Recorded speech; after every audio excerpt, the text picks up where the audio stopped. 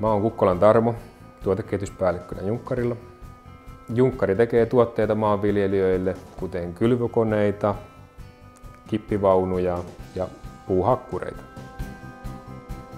Meidän tiimi kehittää tuotteita ideariihien kautta, missä katsotaan porukalla ideoita, mitä tehdään seuraavaksi, minkälaista tuotetta markkinat kaipaa seuraavaksi. Ja itse konkreettinen työ tehdään täysin tietokoneella 3D-mallinnusohjelmien avulla.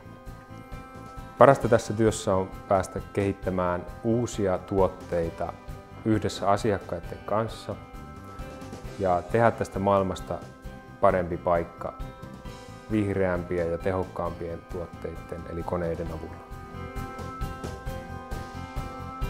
Esimerkiksi nyt viimeisimpänä projektina tehtiin tämmöinen isompi kylvokone. Markkinoilla on tullut kova kysyntä tämmöiselle suuremmalle kylvokoneelle, koska tilat suurenee jatkuvasti.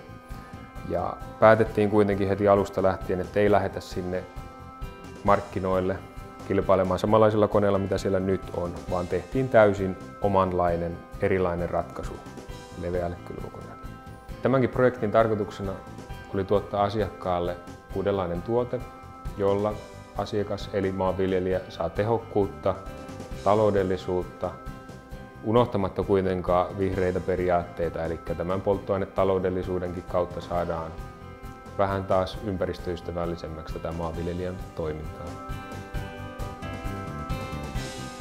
Kokonaiskuvassa meidän tuotteet vaikuttaa kuitenkin siihen maanviljelijän taskuun jäävään rahamäärään ja samalla ihan arkipäivässä ruoan hintaan.